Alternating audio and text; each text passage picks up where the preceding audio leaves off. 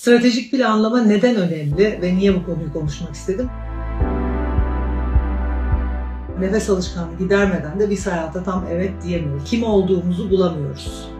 Ve birçok kişinin problemi bu. Ne kadar çok oturup kendi kendinize vakit geçiriyorsanız o kadar kendinizi keşfedeceksiniz. Yaşamımızı değiştirdiğimiz yer zihnimiz arkadaşlar.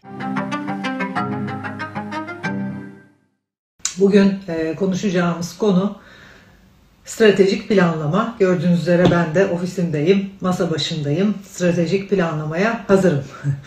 Stratejik planlama neden önemli ve niye bu konuyu konuşmak istedim? Bir kere bu konu sizlerden bir öneriydi. Biliyorsunuz her hafta sizlerden önerileri topluyoruz.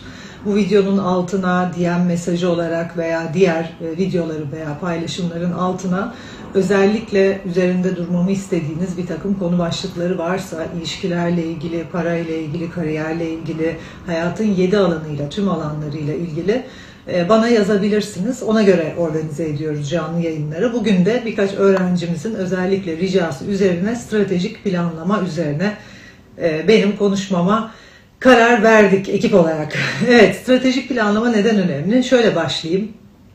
Dünyanın sadece dünya nüfusunun %3'ü ile 4'ü arası kişi e, yaşamını stratejik planlamayla yani kendine hedefler belirleyerek kendine e, bir takım objectives yani bir takım e, vizyonunda bir takım gerçekleşmesini istediği konular olarak ve bir takım hedeflerle yani çok net bir şekilde geleceğini planlayarak hayatını yaşıyor ve en ufak detayına kadar planlıyor.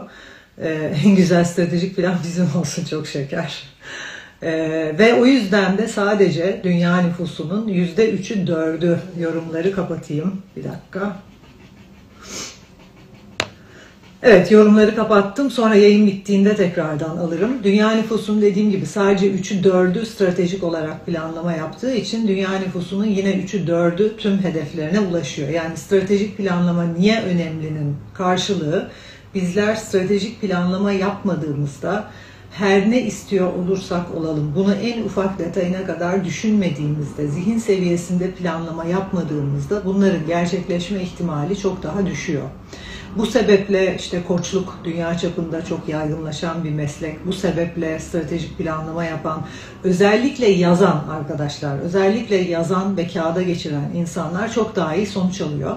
O yüzden müfredatımızda stratejik planlama diye ayrı bir bölüm var. Yani beş tane ana prensibi biliyorsunuz hepiniz. Bir insanın ustaca yaşayabilmesi için, yaşamda kapasitesinin en üstüne çıkabilmesi için 5 tane ana prensip var ve e, bunlarla ilgili hatta dün işte belki takip edenleriniz vardır. Dünya çapında bir inspirational pardon dünya çapında bir Inspirational Festival adlı bir festivale katıldım. Dün birçok hocanın yer aldığı, işte dünya çapında hocaların konuşmalar yaptığı, hatta benim konuşmama katılan hocalar da oldu. Konuşmamı dinleyen e, yüzlerce kişi olmuş sonrasında da.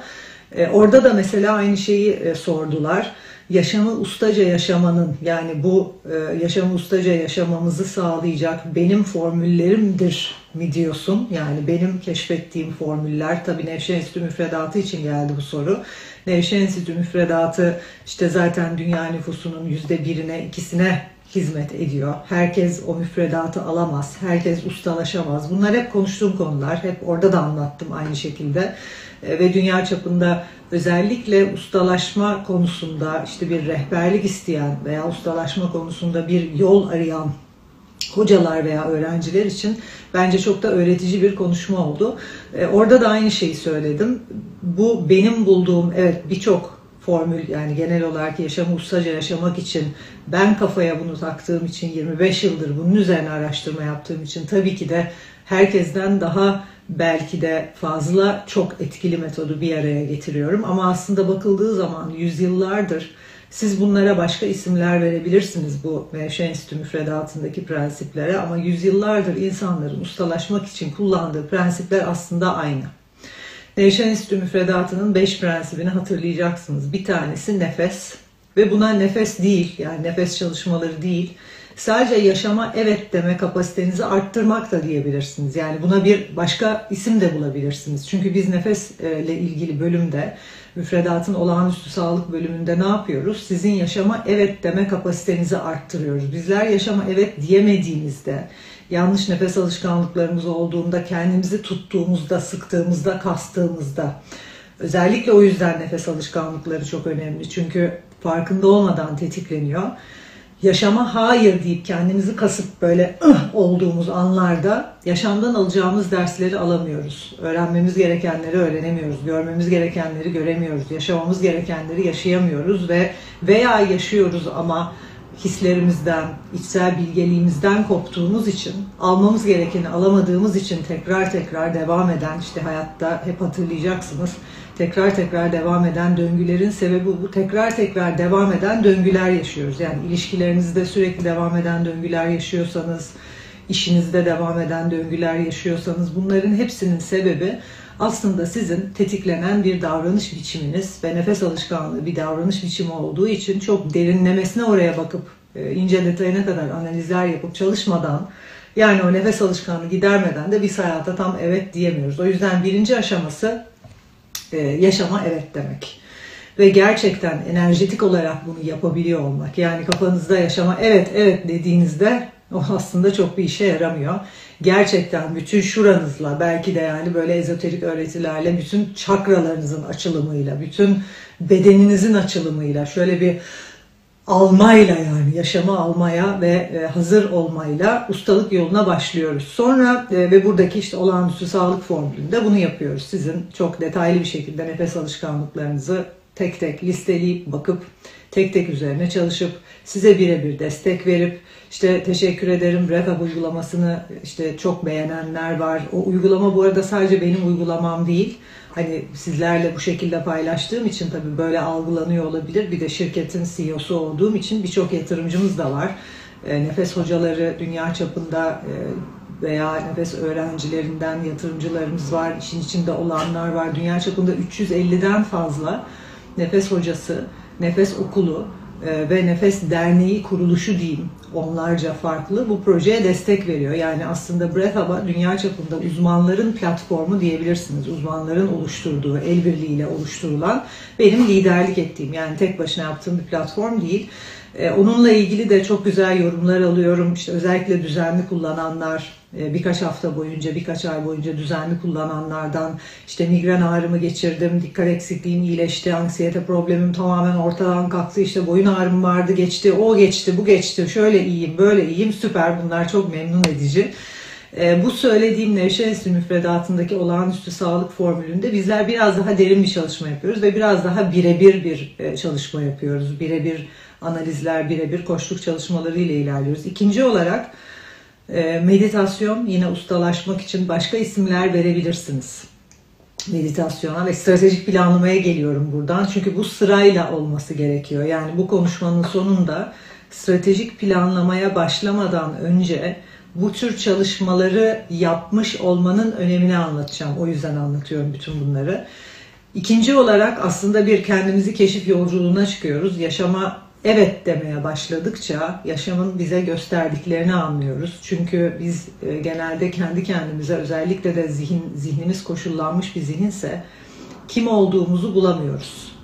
Ve birçok kişinin problemi bu. Yani birçok kişinin hayat amacıyla hizada olmamasının, birçok kişinin misyonuyla hizada olmamasının, e, toplumun büyük bir kitlesinin yani kitlelerin kendinden habersiz hayat amacıyla hizada olmadan, belli bir misyona hizmet etmeden ilerlemesi ve misyonerlerin, hayat amacını bulmuş kişilerin niye bu hayattayımın cevabını vermiş, kendi yoluna çıkmış kişilerin de bu kadar az, yüzde bir kadar az olmasının sebebi bu.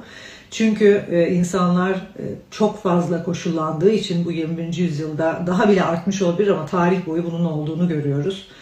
Dış dünyanın sesi, senin iç dünyanın, öz varlığının sesinden yüksekse ve çocukluğundan itibaren zihnine yerleşmiş bir takım koşullar varsa, sana ait olmayan düşünceler, haberin bile olmayan, bunun altını çiziyorum.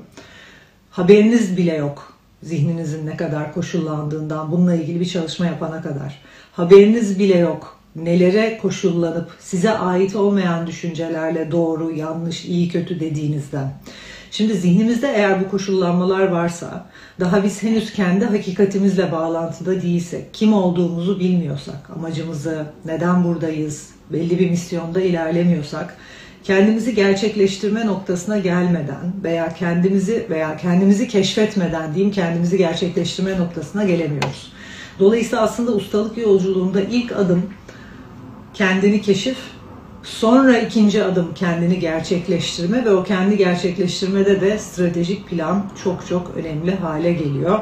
İşte bizler müfredatın diğer prensipleri, meditasyon, zihin çalışmaları, birçoğunuzun bildiği, belki bazılarınızın şu anda müfredatta ilerlediği net zihin prosesi, kendimizle kalabilmemiz çok önem taşıyor.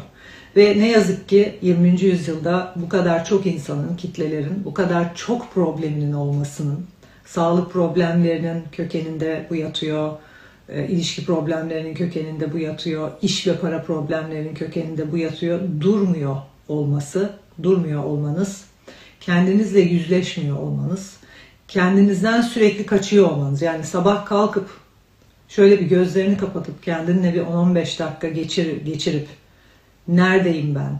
Ne istiyorum? Olayım ne? Duygularım ne? Hislerim ne? Bugünkü hedefim ne? Bütün bunu çek etmediğiniz, sormadığınız müddetçe tekrar belki öğlen birkaç dakika, tekrar belki akşam birkaç dakika. Yani bir durup kendinizi dinlemediğiniz müddetçe ve bu e, burada yani herhangi bir nefes çalışması veya dışarıdan birinin sesiyle bir meditasyon pratiğinden bahsetmiyorum.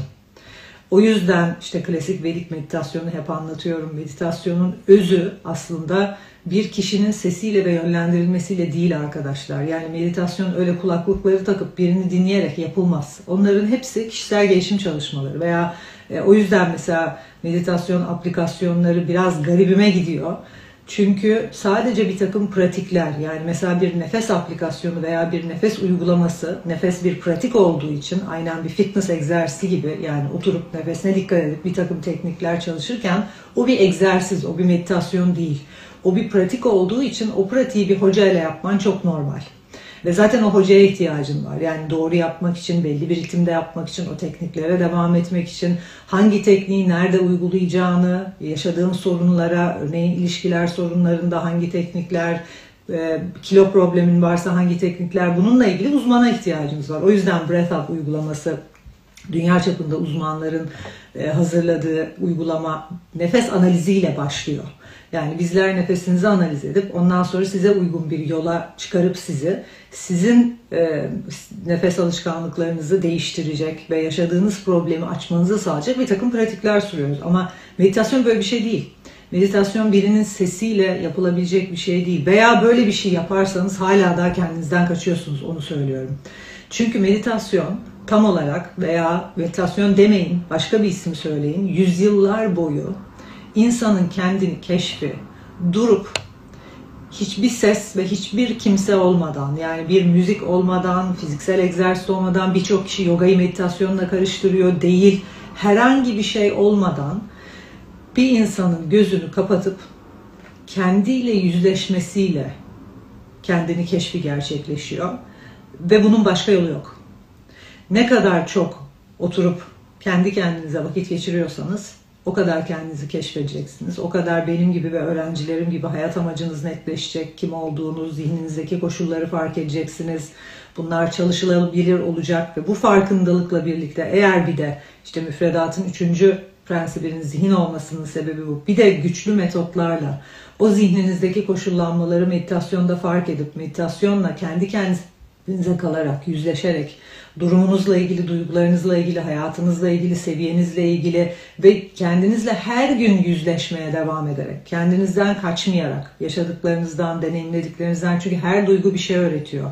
Her semptom bir şey öğretiyor. Mesela bir başımız ağrıdığında bir e, bir ilaç almaya çalışmak değil aslında o baş ağrısının kökünde ne yattığını, hangi düşünceler, hangi duygular, senin hangi seçimlerin bu baş ağrısına neden oluyor veya ilişkimizde bir problem yaşadığımızda veya ilişkilerimizde ayrılık yaşadığımızda gidip bir içki içmek, işte e, kendimizi dağıtmak ya da biriyle sohbet etmek değil. Tam o an o acının içinde, o neyse yaşadığınız o duygunun içinde kendi kendinize kalabildiğiniz zaman yani gerçekten kendinizle yüzleştiğiniz zaman kim olduğunuzu yavaş yavaş anlamaya başlıyorsunuz ve nerede olduğunuzu görüyorsunuz. İşte zaten o farkındalıkta biri doğal olarak bir çare arıyor.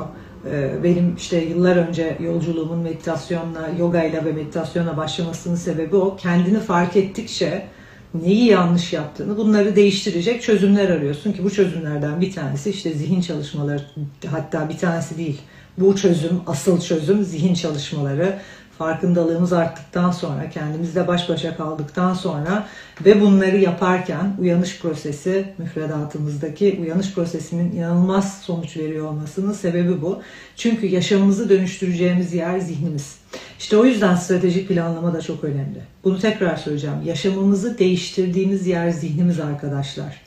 Yaşamımız zihnimizde değişiyor. Yaşam yaşamın içerisinde değişmiyor. Belki de tekrar tekrar söyleyeceğim, bütün eğitimlerimde söylediğim ve söylemeye devam edeceğim ana öğretim budur yani. Hani tekrar tekrar yaşamını değiştirmek istiyorsan bu değişimi zihninde yapman gerekiyor. Zihninde bir değişim olmadan yaşamında hiçbir şey değişmeyecek ve zihninde hakiki bir değişim olmadan yani hafif bir bakış açını değiştirmekten falan bahsetmiyorum. Gidip çok derin çalışmalar yapıp saatlerce süren çok iyi bir rehber bulup onun öğrettiği ustalık yol, yollarıyla ve zihin çalışmalarıyla ilerleyip ki dünyada zaten iki elin parmağını geçmez o usta hocaların sayısı. Ee, çok güçlü derin çalışmalar yapıp beynindeki episodik anılara kadar, beynindeki kayıtlara kadar değiştirecek e, yollar bulup bunları yapabilecek hocalar bulup çok büyük bir değişim yaptığınızda hayatınız değişiyor. İşte geçen hafta eğer e, izlemediyseniz çok tavsiye ediyorum Nevşe Enstitü Instagram hesabında hala yüklü. Öğrencilerimden Elif mesela burada Londra'da öğrencilerimden biri ve bir sene ya ben 2-3 senedir birlikte çalışıyoruz diye zannediyordum. Düşünün yani o kadar büyük bir değişim oldu ki bir sene için yani 10 ay içinde e, sonradan konuştuğumuzda fark ettim ki gerçekten 10 ay içinde 9 ay 9-10 ay içerisinde o Elif başka bir insana dönüştü ve onu anlattı mesela çarşamba günü. Çünkü Elif ne söylüyorsam yaptı. Çünkü Elif müfredatta ne varsa, ne öğretiyorsam gerçekten disiplinli şekilde, adanmış şekilde yaptı. Zaten o yüzden hep söylüyorum. Yani o yüzden müfredata herkesi almıyoruz, kabul etmiyoruz. Çünkü belli bir adanmışlığı yoksa bir kişinin, belli bir disiplini yoksa, her şeyden çok hayatta en üst seviyeye gelmeyi istemiyorsa, ambition çok güzel bir kelime. Belli bir seviyede hırslı değilse ben ona yardımcı olamam. O da ustalaşamaz zaten. Hani başka tekniklerle, başka hocalarla e, ilerlemesi gerekiyor. Gerçekten hırslı, gerçekten ama gerçekten hayatta her alanda maddi manevi sağlık, güzellik, iyilik, aile, ilişkiler, para, para akışı, bolluk, kariyer her alanda ilerlemek isteyen ve bu konuda kararlı olan ve öncelikli bunu isteyen kişiler sadece ustalık yolunda ilerleyebiliyor ve başarılı oluyor veya müfredatta başarılı oluyor. Çünkü sadece onlar ne diyorsam yapıyor. Sadece onlar benim ustalığımı, bu seviyeye nasıl geldiğimi görüyor, anlıyor. Sadece onlar örnek olarak e, bunu başarmış bir kişiyi tanıyorlar. Yani ve onun açtığı yoldan ve onun rehberliğini sorgulamadan sonuç alacaklarından emin ilerliyorlar ve yüzde yüz sonuç alıyorlar. Yani Elif'in hayatının bir sene içerisinde tamamen maddi manevi değişmesinin sebebi bu. Ee, birçok öğrencimin işte eşiyle ayrılacak noktaya gelip zihin dönüşümünü gerçekleştirdikten sonra işini tekrar çok sevmeye başlayıp evliliklerinin çok daha farklı bir boyuta geçmesinin işte hep söylüyorum ayrılık alt bilincin oyunu arkadaşlar. Ee, birinden ayrılmayı seçiyorsanız onun insani özellikleriyle ilgili zihninizde yargılar olduğu için seçiyorsunuz. Hiç kimseden ayrılmamız gerekmiyor hakikatte. Eğer nötr bir bilinçteysek herkesin hayatımızda var olan herkesin kıymetini, değerini gördüğümüz bir seviyeye geçiyoruz ve o yüzden de her alanda, yaşamın her alanında e, inanılmaz bir büyümeyle, inanılmaz fışkırarak diyeyim, artarak, çoğalarak ilerlemeye başlıyoruz. Ve bütün bunlarla birlikte e, bir dördüncü prensip amaç hayat amacımızı bulmak, kendi değerlerimizi bulmak, dünyanın bize empoze ettiği ve yüklediği, dünyanın bizi koşulladığı gerçeklik değil, kendi gerçeğimizi bulmak. Yine dördüncü amaç çok önemli. Değerler prosesi, değerler faktörü biliyorsunuz o bölüm. Ee, yine müfredatın içerisinde. Kendimizi keşfettikçe benim değerlerimle, benim önceliklerimle, benim hayat standartlarımla, benim yaşamak istediğim seviye ne, bütün bunları düşünmek, bütün bunları kağıda geçirmek çok önemli. Şimdi burada şunu bir de söylemek istiyorum. Niye kendimizi keşfettikçe diyorum bunu yapmak? Ve bir sonraki seviye stratejik planlama. Niye önce değil stratejik planlama? Aslında müfredattaki son bölüm.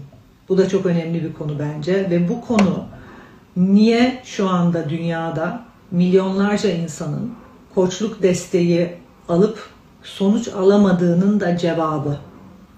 Niye milyonlarca insanın stratejik planlamayı belki de anlayıp şu anda yaşadığımız dönemde stratejik planlamayı anlayan çok fazla insan var geçmiş yüzyıllara göre. Çünkü koçluk diye bir meslek çıktı. Niye bu kişilerin tamamının benim ya da öğrencilerimin aldığı sonucu alamadıklarını, niye bu kişilerin tamamının o istedikleri sonucu alamadıklarını ya da sonuç alsalar bile sonrasında büyük bir kayıp yaşadıklarını anlatacağım. Yani aslında şunu diyorum. Evet stratejik planlama çok önemli. Yaşamımızın her alanına bakıp üzerinde düşünüp e, belli sorular sorarak kendimize yani ne istiyorum, nasıl istiyorum, en ufak detayına kadar bu ilişkiler de olsa, kariyer de olsa bu durumda nasıl ne istiyorum, bu durumda ne istiyorum. Yani zihinsel olarak yaşamımıza emek verip yaşamımızda geleceğimizde ne istediğimizi kağıda geçirmek çok önemli. Bunu yapan insan sayısı zaten dünyada %3'ü 4'ü geçmiyor. Ve sadece o 3-4 zaten sonuç alabiliyor. Ama o 3-4'ün içerisinde de bizim aldığımız sonuçları alamayan çok kişi olduğunu görüyorum. Şimdi onun sebebini anlatacağım. Eğer zihninizde herhangi bir stratejik planlamaya başlamadan, herhangi bir koçluk çalışmasına başlamadan size ait olmayan düşünceler varsa, bir takım kalıplar, bir takım doğrular, bana ait olmayan dış dünyanın kuralları, bir takım koşullandığın ahlaki değerler. Yani her gün işte şey diye e, yani çok normal tabii sizlerden bu şeyleri almam. Hani anormalde karşılamıyorum bu mesajları almam. E, yani mesela tecavüzün neresi iyi olabilir ki? Ve ben tekrar tekrar biliyorsunuz bütün eğitimlerimde aynı şeyi söylüyorum ve bilge herkes aynı şeyi söyler. Yaşamda herhangi bir olayın diğer olaydan farkı yok. Her olay eşit derecede faydalı ve zararlı. Dolayısıyla eğer örnek veriyorum tecavüz olayıyla ilgili gerçekten oturup bir çalışma yapsaydınız, bugüne kadar yüzlerce kişiyle çalıştım bu konuda, tecavüze uğramış kadınlarla da çalıştım birebir. Gerçekten o anda olmuş iyi bir rehberiniz olsa ve e, belli bir sistem dahilinde beyindeki episodik anılara kadar dönüştüreceğiniz, sileceğiniz o kayıtları ve geçmiş travmanın zararlı olarak gördüğünüz ve zannettiğiniz şeyin faydalarını size gösterebilecek bir rehber ve metodunuz olduğunda oturup komponentlarına yani tek tek o anda yaşadığınız bütün deneyimi eylemlerle ve özelliklerle özellikle insani özellikler, insani eylemlerle bir liste yapıp ayırabilseniz çünkü tecavüz bizim koyduğumuz bir etiket. Etiketler sizin zihninizdeki yargıları sizden saklamak için bir takım sistemler. Dolayısıyla biz zihninizdeki yargılarla çalışırken önce bu etiketleri kaldırmamız gerekiyor. Çünkü yaşanan olayı tecavüz diyen insanoğlu yani ego. Onu tecavüz diye etiketleyen. Aslında orada realitede, gerçeklikte ne oluyor? Bir takım eylemler oluyor. O eylemleri listelediğinizde işte elimi bağladı, kolumu bağladı, zorla kolumu tuttu veya neyse yani 10 tane eylem var, 20 tane eylem var. Bunları tek tek listeleyip bakın ne kadar uzun bir çalışma. Her bir eylem üzerine birkaç saat çalışma yapsaydınız o yüzden ustalaşan kişi sayısı çok az. Çünkü bir kere zaten e, şöyle sorular da alabiliyorum. Peki bu olaydan ben nasıl özgürleşirim? Yani bu olaydan sen haftalarca, aylarca çok iyi metotların ve çok iyi bir hocan yoksa özgürleşemezsin yani aylarca çalışmadan ve çok derin bir takım çalışmalar yapmadan. Ee, evet özgürleşebilirsin. Evet travma diye bir şeyin olmadığını görebilirsin ve hayatını birçok seviyede limitleyen ana kilitlerin tamamını açabilirsin. Ama buna adanmışlık gerekiyor, emek vermen gerekiyor, iyi bir hoca gerekiyor, iyi metotlar gerekiyor. Tek tek bunu yapmış olsaydınız Sizleri öyle bir seviyeye getirirdim ki mesela öğrettiğim metotlarla bu yaşadığınız olaya gerçekten şükran duyup o olayın size e, o olayın sizi bugünkü seviyeye nasıl getirdiğini görüp size tekrardan sorduğumda bunu yaşamayı seçer miydin yoksa yaşamayı seçmiyor musun? Evet kesinlikle yaşamayı seçerdim cevabını vereceğiniz geçmişinizle ilgili daha bilge, daha olgun bir bakış açısına sahip olacağınız ve böylelikle geçmişin yüklerinden kurtulacağınız bir noktaya getirirdim. Sizi ki getiriyorum zaten yüzlerce kişiyi şu an müfredatta. Dolayısıyla e, bunlar o kadar kolay çalışmalar değil hep söylüyorum. Stratejik planlama da dediğim gibi belli seviyede mesela uyanış prosesi başlamadan ve zihnimizle belli seviyede çalışmalar yapılmadan bence stratejik planlama Evet bir takım hedefler belirleyebilirsiniz kendinize ama o hedefler eğer size ait değilse, özünüze, kader yolunuza ait değilse mutlaka elinizden alınacak. Orada kaderle ilgili de şöyle bir şey söylemek istiyorum. Bununla ilgili epey soru aldığım için birazdan sorulara da zaten e, yer vereceğim. E, kader herkesin yaşayabildiği bir ihtimal değil arkadaşlar. Çünkü yaşamımızda problem olarak nitelendireceğimiz, eksiklik olarak nitelendireceğimiz acı dolu olayların hiçbiri kaderimizde yok acı dolu deneyimlerin tamamı e, sizin bilincinizdeki çarpıklıktan kaynaklanıyor. Kader ihtimalini yaşayan bir insan problem yaşamadığı için kader ihtimalini yaşıyor. Çünkü kader ihtimali içerisinde yani bizim olmaya geldiğimiz insan olup yapmaya geldiğimiz şeyi yaptığımız yüzde birlik bir seviyeden bahsediyorum. Dünya nüfusunun yüzde birinden. Gerçekten hayat amacını keşfetmiş. Dış dünyanın sesini susturmuş sadece kendi yolunda ilerleyen, hiç kimseyi takmadan ve hiç kimseyi umurdan umursamadan ahlaki kurallarmış, değerlermiş. Dün hatırlarsınız bir, şey, bir yazı yayınladım. E, genelde zaten bunu yapamayanlar güçsüz insanlar olduğu için yani bir kişi hayat amacını keşfetmiş bir kişi, misyonuyla hizada bir kişi, dünyadaki koşulları yıkmış, üst bilinçteki kişi, özgür kişi yani toplumun bütün kurallarından, koşullarından, etik anlayışlarından, ahlaki değerlerinden hepsinden özgür şekilde kendini gerçekleştiren olduğu için kim ne derse desin kendi yolunda ilerleyen ve orada her gün güçlenip olağanüstü bir hayat kurgulayan kendine bunu yapamayan ve daha güçsüz olan kişiler de ahlaki değerlerle koşullanmış kişiler işte ahlaki değerlerin, etik etikliğin yani bu etiktir, bu etik değildir. Bu profesyoneldir, bu değildir. Ben profesyonelim, ben etiyim, ben ahlaki olarak bilmem neyim deyip bunların arkasına sığınarak güçlenmeye çalışan kişiler oluyorlar. Ve hakiki güçlü bir kişi onların oyununa gelmediği için de tabii ki çok fazla tetikleniyorlar. Çünkü hakiki güçlü kişi senin ahlaki değerlerin, etik anlayışın, işte bilmem ne kuralların, senin koşullanmalarınla durdurulamaz. Zaten o kişiler o yüzden diğerlerinden çok daha başarılı. E, o yüzden bütün hedeflerine ulaşıyor. O seviyeye gelene kadar da yani zihnimizdeki koşulları tek tek temizleyip kendi doğrularımızı, toplumun doğrularına hayır deyip kendi doğrularımızı yaşayacak seviyeye gelene kadar da gerçekten güçlenmiyoruz ve kaderimize ve cennete adım atmıyoruz. Sadece bunu yapabilen kişiler, o işte etikmiş, değilmiş, profesyonelmiş, değilmiş, dit dit dit dit bütün bu dış dünyanın kurallarını bırakıp gerçekten iç öz varlığının gücünü keşfetmiş ve o hakiki güçle bağlantıda, hayat amacıyla hizada e, ilerleyen kişiler gerçek otoriteler haline geliyor. Hangi alanda olursa olsun gerçek bir marka, gerçek bir otorite oluyor. İşte biliyorsunuz marka olay eğitimi de bununla ilgili, size o noktaya getirmekle ilgili. işinizi o hayat amacınızla hizalamakla ilgili ve o noktada durdurulmaz oluyorsunuz ve o kader noktası en yüksek ihtimal ve sorunların, problemlerin, aksaklıkların, eksikliklerin, ayrılıkların olmadığı ihtimal. Ee, bütün problemler, bütün aksaklıklar, bütün küçük ya da büyük e, saçmalıklar diyeyim hayatımızdaki vakit kaybı olan bizim kendi öz değerlerimizden kendi kaderimizden kopup bir takım yaptığımız seçimlerin eseri veya sonucu.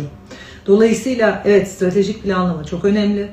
Çünkü yaşamda gelecekle ilgili düşünmediğimizde gelecekle ilgili vizyonumuzu, hedeflerimizi kağıda geçirmediğimizde sonuç alamıyoruz. O yüzden işte stratejik planlamanın altında biliyorsunuz yaşamın 7 bölümü ile çalışıyoruz tek tek. ilişkiler, para, kariyer, sağlık. Bütün bu alanlarda e, size yüzlerce soru veriyorum. Yüzlerce soru. Oturup cevaplayıp kağıda geçirip netleşmeniz için. Çünkü zihnimizdeki bilgi kağıda geçmediği müddetçe çok detaylı stratejik planlama yapmadığımız müddetçe sonuç alamıyoruz. Öylesine yaşanmış bir hayat öylesine sonuçlar verir. Stratejik planlamayla, planlanarak, belli bir vizyonla, belli bir stratejiyle yaşanan hayatta bize istediğimiz sonuçları verir. Ee, ve bunu da hem kendi hayatımda hem öğrencilerim hayatında görüyorum. Ve bunun %100 sonuç verebilmesi için de tabii ki veya aldığımız sonuçların sonradan belli bir hüsranla bitmemesi için de kendimizle bağlantıda şekilde düşünüyor olmak çok çok önemli. Çünkü eğer hala zihninde koşullar varsa, eğer dış dünyanın değerleriyle, dış dünyanın koşullanmalarıyla sana sorduğum soruları örneğin cevaplıyorsan stratejik planlamada aslında onlar senin hedeflerin değil. Onlar koşullandığın hedefler. Yani aslında işte örnek veriyorum bir ev istiyorsun diyelim veya ev istediğini zannediyorsun. Bir, bir, bir şekilde bir ev istediğini zannediyorsun. İşte üç odalı şöyle şöyle. Eğer kendi öz varlığınla henüz hizada kendi gerçekleştiren bir kişi değilsen belki de o senin kader yolculuğundaki ev değil. Belki de o senin geçen gün veya ondan önceki gün Instagram'da gördüğün, aşırı anlam yüklediğin ve çok hayran olduğun birinin hedefiydi ve birinin gerçekleşmiş hedefiydi ve bir başka birinin kaderi içerisindeki bir ihtimaldi. Ee, sizler birçoğunuz yani eğer benle çalışmıyorsanız çok netim bu konuda zihin çalışmaları yapmıyorsanız benimle birlikte yapmayanların tamamı zihninizdeki koşullarla koçlukça desteği almaya çalıştığınız için zihninizdeki koşullarla orada çok derin bir çalışma yapmadan, iyi bir rehberiniz, hocanız olmadan ilerlediğiniz için ve bu koşullarla hedefler belirleyip o hedeflere ulaşmaya çalıştığınız için ulaşamıyorsunuz. Veya o hedeflere ulaşıp kaybediyorsunuz. Çünkü o hedef senin hedefin değilse, eğer o belirlediğin hedef senin kaderinde yoksa, eğer o belirlediğin hedef senin niyetin, gerçek niyetin, kısmetin, nasibin değilse senin elinden mutlaka alınacak. Bu şekilde bir ilişki kurgulayabilirsin, bitecek. Bu şekilde iş kurgulayabilirsin, batacak. Bu şekilde birikim yapmaya çalışabilirsin, hepsi bitecek, eksiye dönecek. Ve bu konu herhalde en net olduğum konu. Yani aslında dediğim şu, henüz kendini tanımadan, dış dünyanın koşullarını zihninden çıkarmadan, beynindeki episodik anıları nötrlemeden, o kader noktasından hayatı yaşamaya başlamadan, kendiyle tam hizalanmadan koşluk desteği alan stratejik planlama yapmaya çalışanların %99'u çünkü %1 senin koşullandığın şeyle matematik formülü gibi yani senin kaderin hizada olabilir. Yani sen hem koşullanmış biri olabilirsin ama kaderinde de bu olabilir. O yüzden koşullandığın şeyle kaderindeki şey hizada olduğu için sonuç alıyor olabilirsin. Ama bu yüzde bir. Yüzde 99'u bu yüzden sonuç alamıyor. Çünkü gerçekleşmeyecek şeyler istiyorsunuz. Ve zaten kendini gerçekleştirmeyen, kendiyle yüzde yüz hizada olmayan, dış dünyanın sesiyle ve koşullarıyla yaşayan kişilerin ortak özelliği bu. Ee, sadece ve sadece kendi öz varlığımızın yansıması her şey, ilişkiler, para, yatırımlar, kariyer köklü olduğu için biz sadece kendi köklerimizle bir olduğumuzda dış dünyanın kuralları, dış dünyanın koşulları değil. Kendi varlığımız, özümüz, öz varlığımızla hizada bir hayat yaşadığımızda evliliğimiz köklü, ilişkilerimiz köklü, ailemizle ilişkimiz köklü, parayla ilişkimiz köklü, kariyerimiz köklü olduğu için sadece o alan yani kendimizi gerçekleştirdiğimiz, kendi varlığımızda yüzde yüz hizada olduğumuz alandan belirlenen hedefler, yapılan stratejik planlama, geleceğe ilerleyip hatta sonsuza kadar devam eden bir takım projeler, bir takım ilişkiler doğuruyor ve ben ruhumla bütünleştiğimde, ben özümle bütünleştiğimde, ben ruhumun eşini, ruhumun işini, ruhumun birikimini, ruhumun amacını e, gerçekleştirdiğimde en üst seviye olan, hiçbir problemin olmadığı, hayatın kolayca aktığı, yaşamın sadece bir öğrenme ve tek tek basamakları, merdivenin basamaklarını e, tırmandığımız bir yolculuk olduğu, tüm deneyimlere büyük bir şükran duyduğumuz ve hayatımızın tam istediğimiz gibi ilerlediği, tam istediğiniz gibi yani hayatınızda olmasını istediğiniz insan olup olmasını istemediğiniz insanların kendiliğinden çıktığı, yaşamayı seçtiğiniz deneyimlerin yaşanıp seçmediğiniz hiçbir deneyimin olmadığı olağanüstü bir yaşama adım atıyoruz. O seviyede stratejik planlama e, her şeyi hızlandırdığı için ve çok daha net bir şekilde ilerlemenizi sağladığı için çok çok önemli. Dolayısıyla stratejik planlama aslında veya koçluk çalışmaları kimin ve hangi bilincin bu çalışmaları yaptığıyla doğru orantılı şekilde bize sonuç veriyor. Daha alt, daha koşullanmış bir bilinç bu çalışmaları yapıyorsa belki bazen sonuç alıyor gibi oluyor, hedefine ulaşıyor gibi oluyor, kaybediyor. Tam bir şey olacak gibi oluyor, olmuyor. Çünkü alt bilinç orada bir çalışma yapmıyorsanız her zaman kayıplar, her zaman tıkanıklıklar, her zaman problemler doluyken üst bilinç, daha vizyoner bilinç, hayat amacıyla hizada açılmış bir bilinç, koşulları olmayan bir bilinç kendi yaşam amacını gerçekleştirerek bir misyonla bu hayatı yaşayıp hayatın her alanında sonuç alıyor. Dolayısıyla bu sonucu almak için söylediklerimi özetlersem yani müfredatın zaten ana prensiplerinden bahsettim. Önce kendimizi bulma, Sonra kendimizi gerçekleştirme ve ardından üçüncü olarak da stratejik planlamayla yaşamımızın her alanına bakmak çok önemli. İşte son seviyede o yüzden öğrencilerimle her alanda, ilişkiler alanında, para alanında yüzlerce soru cevaplayıp onlar için hazırladığımız yüzlerce soru var. Ee, onların cevaplarını kağıda geçirip yani mesela bir birikim hedefliyorsan rakamsal ne kadar, bu rakamsal hedefine ne kadar günde, ne kadar ayda, ne kadar senede ulaşabilirsin? Buna ulaşmak için ayda ne kadar biriktirmen gerekiyor? O birikimi ne gibi yatırımlara dönüştürmen gerekiyor? Sayısal yazarak, çok stratejik bir şekilde planlayarak ilerliyoruz. Her şeyi sayılara döktüğünde, matematik formüllerine döktüğünde, kağıda döktüğünde e, tamamının gerçekleşebildiği bir seviyeye geçiyoruz. Ama kağıda dökmediğimiz, üzerinde düşünmediğimiz, stratejik planlama yapmadığımız her alan alanı aslında işte buna eğitimlerde söylüyorum bir e, evinin bahçesini kendi haline bırakmak gibi yani. Bakımsız bir bahçeye dönüşüyor. Stratejik planlama yapmayan insanların hayatı, stratejik planlama yapan insanların hayatı da çok düzenli, çok sistemli, her geçen gün bir adım daha attığı, bir adım daha attığı ve istediği yere doğru, istediği yerlere ulaştığı bir seviyeye varıyor. Dolayısıyla son olarak söylemek istediğim yine stratejik planlamanın önemiyle ilgili e, yaşamda başarı tesadüfen gelmiyor arkadaşlar. E, hep kullandığım bir söz var çok ünlü bir düşünürün hatırlarsanız o dağın tepesindeki kişi oraya düşmedi. Tepede olan kişiler, liderler, hayatında büyük başarılar elde edenler ve elde etmeye devam eden hedefine ulaşanlar tesadüfen oraya gelmiyor. Hepsinin uyguladığı bir takım formüller var. Hepsi emek veriyor. Hepsi farkında olarak ya da olmayarak stratejik planlama yapıyor. Tamamı farkında olarak olmayarak, destek alarak, mentorluk alarak ya da almayarak. Bugün zihin dönüşüm metotları, güçlü zihin dönüşüm metotları Harvard işletmede de okunuyor. Niye Harvard Business School'u bitirenler bugün dünya çapında en üst seviyede yöneticiler?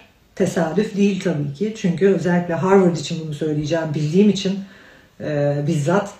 E, çünkü Harvard bir kişinin yaşamda üst başarılar elde edebilmesi için üst bilinçli olması gerektiğini, kendini tanıması gerektiğini, dünyanın kuralları, sistemleri, ahlaki değerleri zaten belli bir zeka onlara kanamaz da yani hani ahlaki değerler doğrular o doğrudur bu yanlışlar yanlıştır zaten sorgulayan yaşamı sorgulayan kendini sorgulayan daha objektif daha zeki bir bilinç diğerleri gibi koşullanmıyor. Yani bir taraftan bir de böyle bir şey var yani. Zaten Harvard'a giren kişi koşullananlardan değil.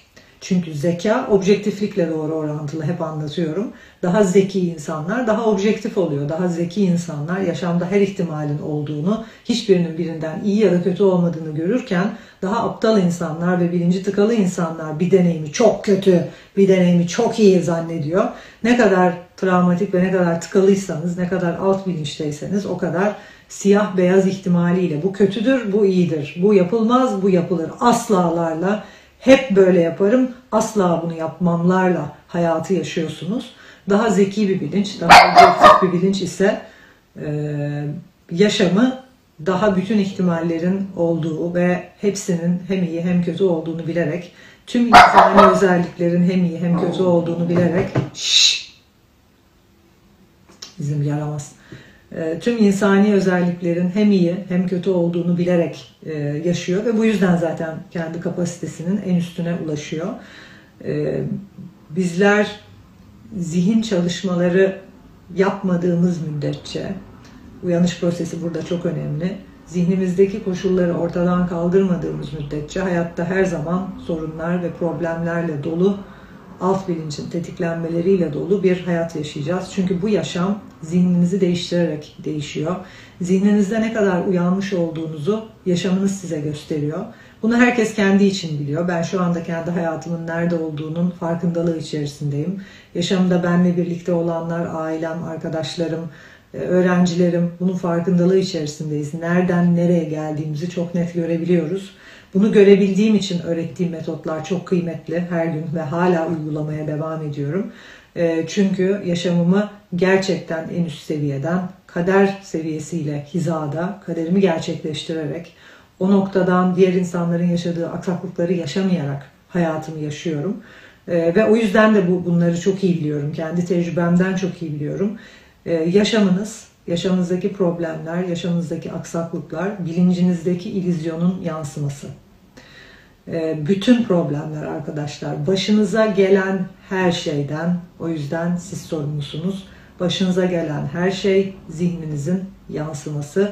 Zihniniz değiştikçe başınıza gelenler de değişiyor. Hatta başınıza bir şey gelmemeye başlıyor. Siz hayatınızın kontrolünü elinize aldığınızda yaşam seni artık kontrol edemiyor. Sen kendi kontrolünü ele almadığın için, sen daha üst bir bilinçte olmadığın için, sen yaşamını govern eden yani yöneten olmadığın için yaşam sana bunu göstermek zorunda. Yaşam sana sen henüz daha yaşamını iyi bir şekilde yönetemiyorsun demek zorunda. Bunu nasıl yapıyor? Seni yöneten deneyimler yaratıyor. Bir takım problemler, bir takım aksaklıklar. E, koyduğun hedefe gitmene engelleyecek, vakit kaybetmene neden olacak, nakit kaybetmene neden olacak, duygusal olarak seni hırpalayacak bir takım deneyimler getiriyor hayatı. Ve o deneyimler aslında bütün problemler sana şunu diyor. Sen henüz kendini yönetemiyorsun ya henüz yaşamını yönetecek bir bilinç seviyesinde değilsin ya. Henüz yöneten değilsin ya. Henüz bilincinde yönetilensin. Çünkü bilincinde eğer koşullar, yargılar varsa sana ait olmayan dış dünyadan üzerinde çalışılmamış bir takım kalıplar onlar seni yönetiyor. O yüzden tetikleniyorsun, duygular tepki veriyorsun. İşte hep anlatıyorum objektif, zeki bir bilinç seviyesinde duygu yoktur. Ne kadar duygu varsa o kadar alt bilinçtesin, o kadar tetikleniyorsun, o kadar amacından uzaksın. Ne kadar objektifsen, ne kadar zeki bir seviyedeysen o kadar ama hayat, hayat amacınla hizadasın. Zaten objektif bir bilinçtesin. Hayatta hiçbir şey iyi veya hiçbir şey kötü değil. Zaten kendini yönetensin, hayatını yönetiyorsun. Bu sefer yaşam sana, o sen kendini yönetiyorsun, hayatını yönetiyorsun. Zihnin zaten objektif bir seviyede deyip ayaklarının altına kırmızı halı seriyor. Ve yürü ya kulum diyor bütün sistem. Sen bu seviyede olmadığında da daha alt bir bilinçteysen ve yönetilensen, yargılarınla çalışmamış alt bilinçte biriysen, zihnindeki düşünceler seni yönetiyorsa, duygular seni yönetiyorsa, kontrolsüzsen hayatınla ilgili bu sefer hayat da sana daha kontrolü kaybedeceğin, daha da kendini yönetemeyeceğin e, ve aldanıp gideceğin aldanmışlığını göstermek için bir takım deneyimler yaşatıyor. O yüzden e, dengeli bir ne kadar dengeli bir bilinç seviyesinde olduğunuzu, ne kadar uyanık olup olmadığınızı yaşamınıza bakarak anlayabiliyoruz. O yüzden hepiniz kendi yaşamınıza bakın. Kendi öz varlığınızdan, hakikatten, kaderinizden ne kadar uzak olduğunuzu siz kendi adınıza biliyorsunuz zaten.